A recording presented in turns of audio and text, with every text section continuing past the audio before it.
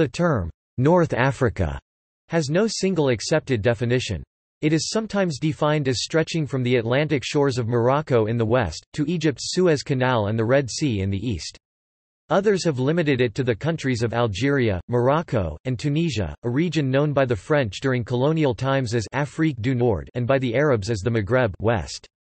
The most commonly accepted definition includes Algeria, Morocco, and Tunisia, as well as Libya and Egypt.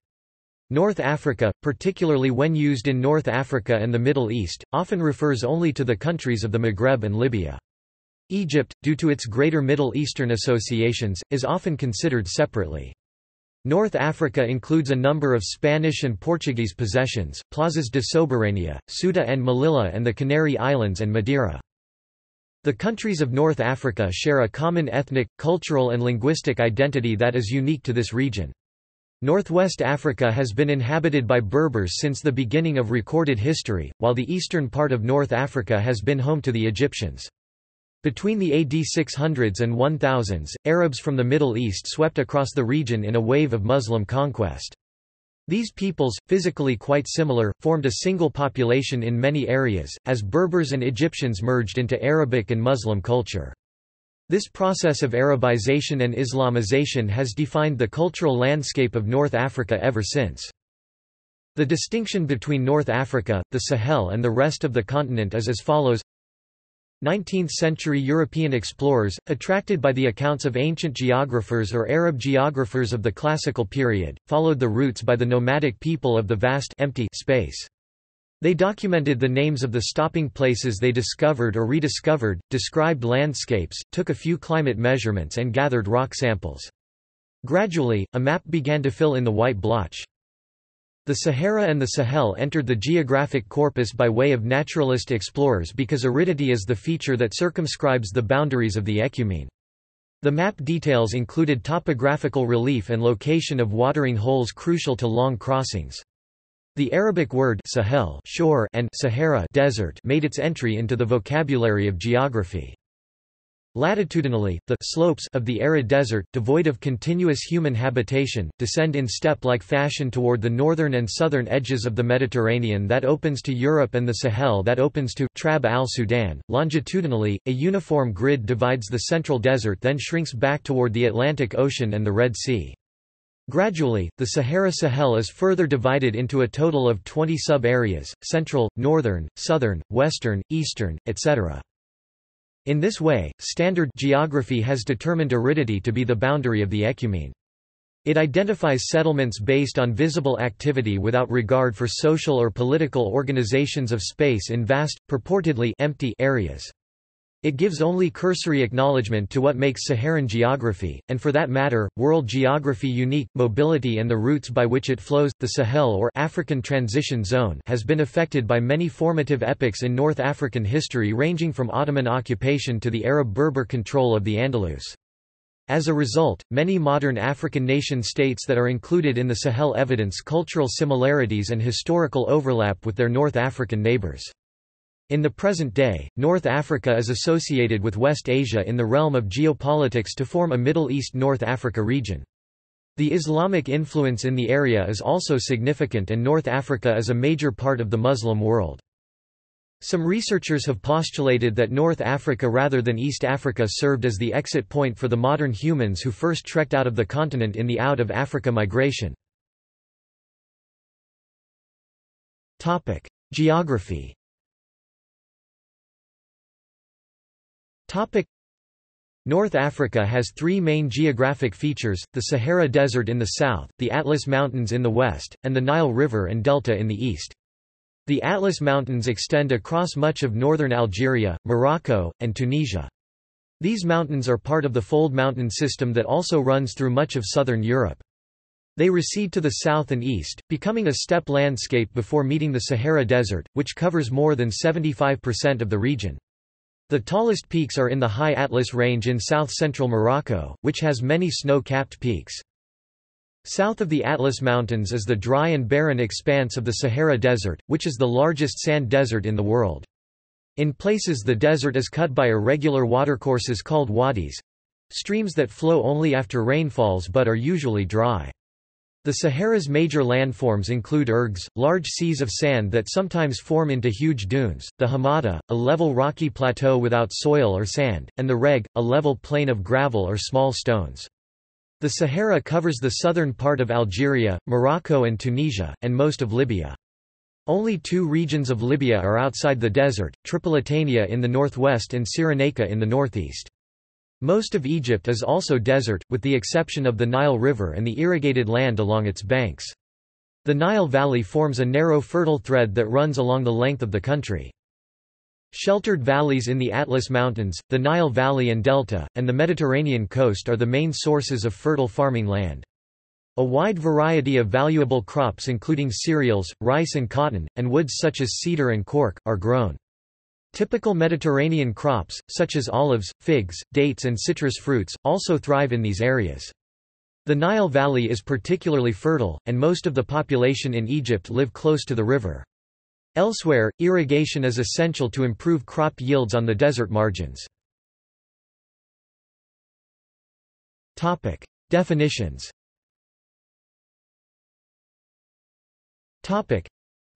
Variously the Sudan and Western Sahara are considered to be part of the region by the United Nations, while Western Sahara and Mauritania but not Sudan are included by the African Union. In general geopolitical and business usage, as for example with the World Bank, North Africa is often grouped with the Middle East under the acronym MENA Middle East and North Africa, and sometimes in American governmental usage the geopolitical term Greater Middle East. Similarly, the traditional Arabic toponym Maghreb meaning the West is commonly used to mean the African part of the Arab world, though usually with the exclusion of Egypt. The inhabitants of the Spanish Canary Islands are of mixed Spanish and North African Berber ancestry, and the people of Malta are of North African ancestry and speak a derivative of Arabic. But these areas are not generally considered part of North Africa, but rather southern Europe, due to their European-based cultures and religion. Topic: People. Topic: The inhabitants of North Africa are roughly divided in a manner corresponding to the principal geographic regions of North Africa, the Maghreb, the Nile Valley, and the Sahel. The Maghreb or Western North Africa on the whole is believed to have been inhabited by Berbers since at least 10,000 BC, while the eastern part of North Africa or the Nile Valley has mainly been home to the Egyptians. Ancient Egyptians record extensive contact in their western desert with people that appear to have been Berber or Proto-Berber. As the Tassili n'Ajjer and other rock art findings in the Sahara have shown, the Sahara also hosted various populations before its rapid desertification in 3500 BC and even today continues to host small populations of nomadic trans-Saharan peoples. In the 11th century, the Banu Hilal invaded the North African plains and plateaus, but not the mountainous areas such as the Tell Atlas Range, the Rif or the Aurès Mountains and brought with them Hilalian dialects of Arabic, which over the centuries have been in significant contact with other languages, including the languages of Europe. They have contributed to the Arabized Berber populations. The official language or one of the official languages in all of the countries in North Africa is Arabic. Today, the largest ethnic groups in North Africa are Arabs, Berbers and West Africans. The region is predominantly Muslim with a Jewish minority in Morocco and Tunisia and significant Christian minority—the Copts—in Egypt, Algeria, Morocco and Tunisia. Culture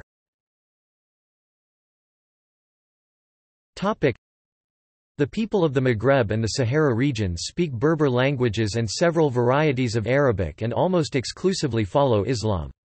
The Arabic and Berber languages are distantly related, both being members of the Afroasiatic language family.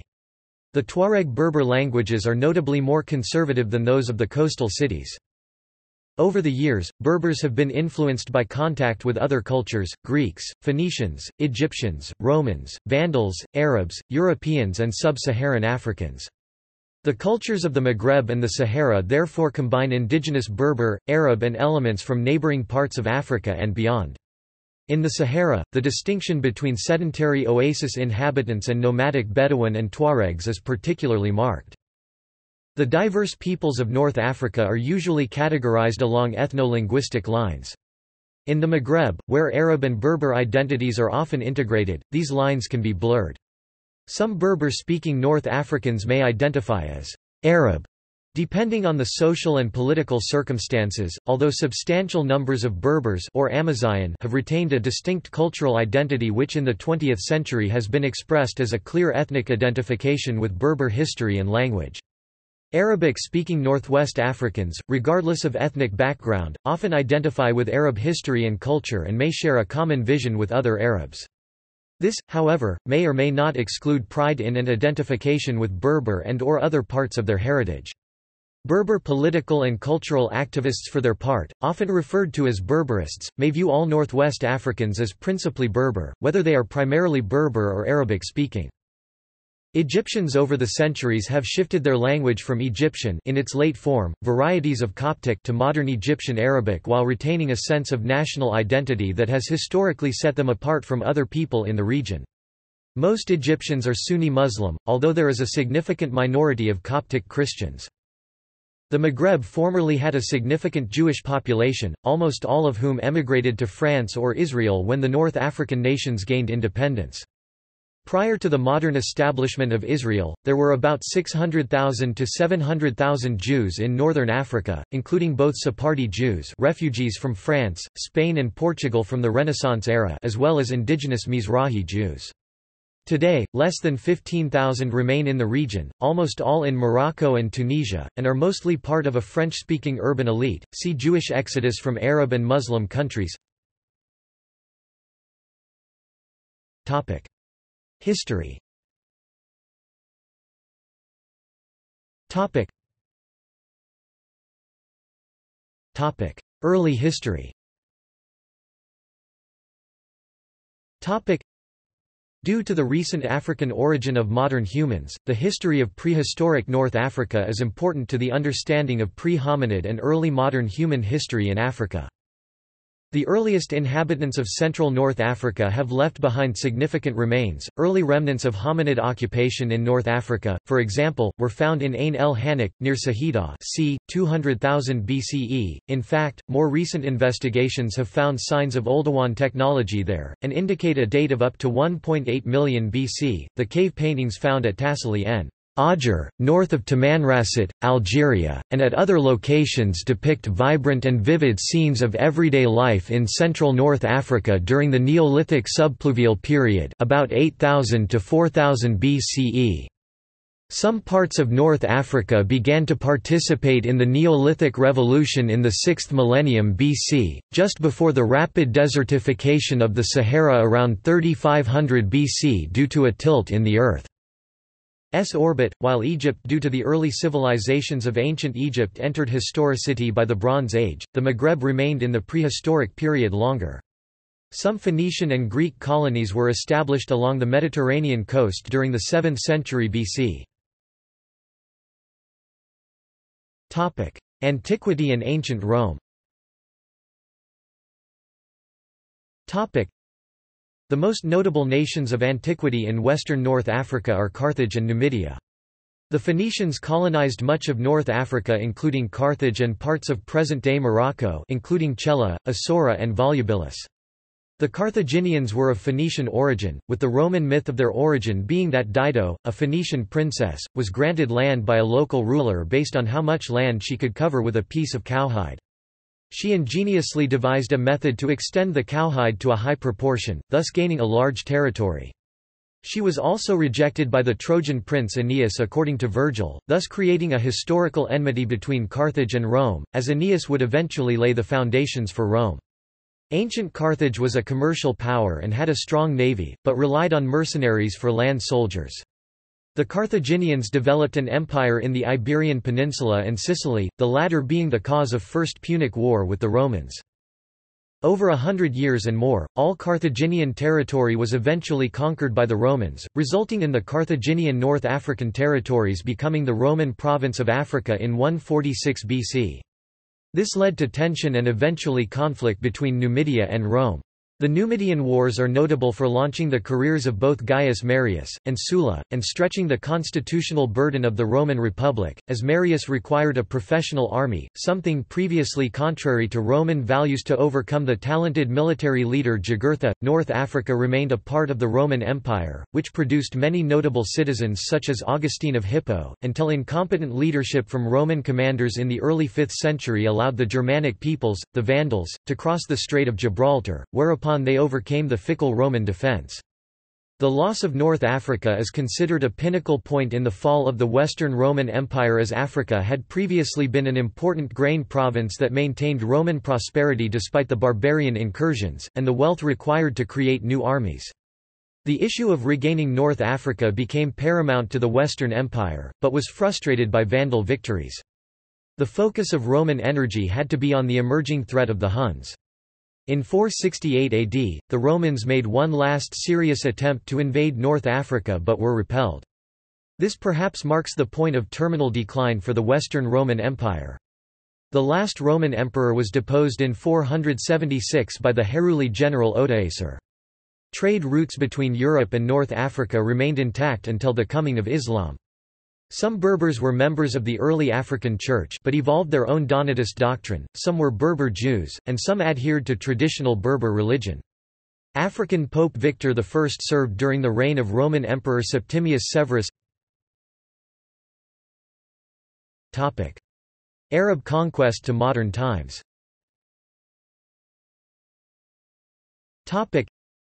The early Muslim conquests included North Africa by 640. By 670, most of North Africa had come under Muslim rule. Indigenous Berbers subsequently started to form their own polities in response in places such as Fez and Sijilmassa. In the 11th century, a reformist movement made up of members that called themselves the Almoravid dynasty expanded south into sub-Saharan Africa. North Africa's populous and flourishing civilization collapsed after exhausting its resources in internal fighting and suffering devastation from the invasion of the Banu Sulaym and Banu Hilal. Ibn Khaldun noted that the lands ravaged by Banu Hilal invaders had become completely arid desert. After the Middle Ages the area was loosely under the control of the Ottoman Empire, except Morocco. The Spanish Empire conquered several coastal cities between the 16th and 18th centuries.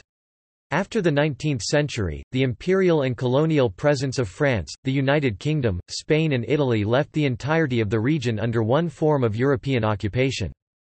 In World War II from 1940 to 1943 the area was the setting for the North African Campaign. During the 1950s and 1960s all of the North African states gained independence. There remains a dispute over Western Sahara between Morocco and the Algerian-backed Polisario Front. In 2010–2011 massive protests swept the region leading to the overthrow of the governments in Tunisia and Egypt, as well as civil war in Libya. Large protests also occurred in Algeria and Morocco to a lesser extent.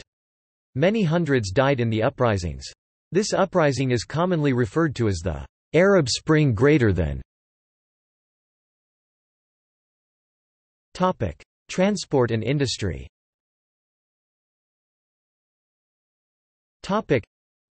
The economies of Algeria and Libya were transformed by the discovery of oil and natural gas reserves in the deserts. Morocco's major exports are phosphates and agricultural produce, and as in Egypt and Tunisia, the tourist industry is essential to the economy. Egypt has the most varied industrial base, importing technology to develop electronics and engineering industries, and maintaining the reputation of its high-quality cotton textiles. Oil rigs are scattered throughout the deserts of Libya and Algeria.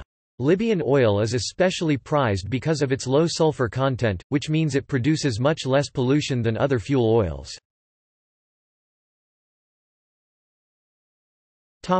See also. Topic. European Digital Archive on soil maps of the world. List of modern conflicts in North Africa References.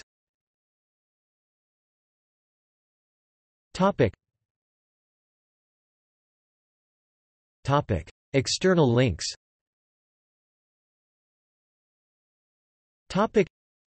Human rights for indigenous peoples. North Africa's weather forecasts and weather conditions. North Africa News and Analysis. Africa Interactive Map from the United States Army Africa